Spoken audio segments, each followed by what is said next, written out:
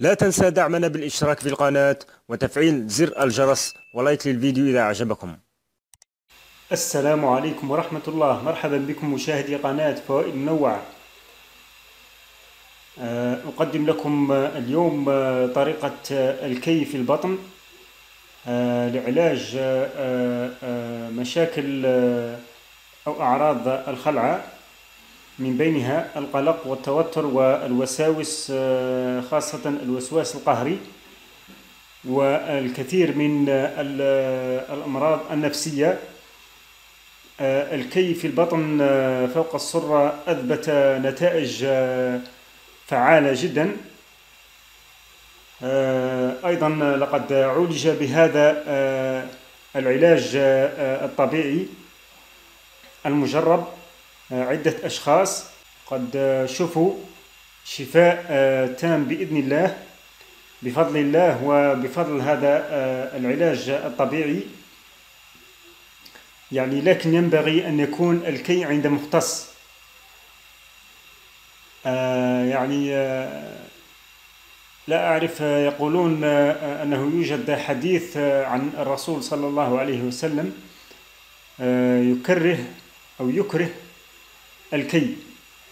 لكن آه نحن نستخدم أو الأخصائيون الذين يعالجون بالكي يستخدمون الكي آه، يعني آه، في آه، الحالات يعني الصعبة.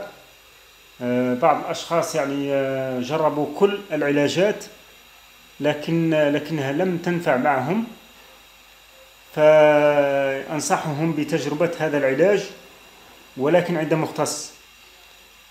يعني سأعطيكم مثال أو تجربة بهذا الدلو المملوء بالماء. فقط آه، كي تفهموا طريقة الكي آه، أيضا آه، لا يعني لا يخلف آثار في البطن. طريقة الكي هكذا. بالجهة ليست الجهة يقوم المعالج بتسخين السكين هكذا ويقوم بالكي بالجهة ليست الحادة الجهة الخلفية للسكين ويبدأ بالضرب هكذا. بسم الله هكذا. هكذا.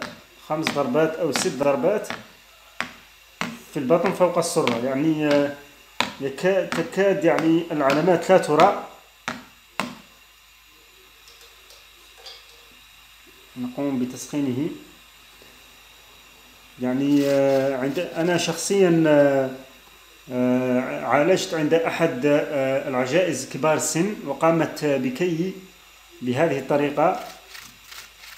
يعني حتى العلامات لا تظهر فقط علامات خفيفة جدا. والحمد لله. فقط ملاحظة الكي هو المرحلة الثالثة يعني المرحلة الأولى التدليك بعدها الحجامة ثم الكي. الحجامة يضعون فوقها البارود العربي ثم بعدها الكي هو آخر مرحلة. يعني سبحان الله هذا العلاج يعني فعال ومجرب أثبت يعني نتائج ملموسة وفعالة بإذن الله. ويعني هذا الفيديو فقط لتوضيح المفاهيم لكي تفهموا الطريقة. نقوم مرة أخرى. هكذا هكذا بسم الله. هكذا نقوم بالكي هكذا. فقط أنا أوضح لكم آه، الطريقة في هذا الدلو. هكذا. فقط آه، تكون خمس كيات أو ستة فقط يكفي. يعني أنا لست مختص في هذا الأمر لكنني بإذن الله في الأيام المقبلة سأتعلم من هذه المرأة الكبيرة بالسن أتعلم هذا العلاج بإذن الله. إن شاء الله أكون قد أفدتكم. السلام عليكم ورحمة الله تعالى وبركاته.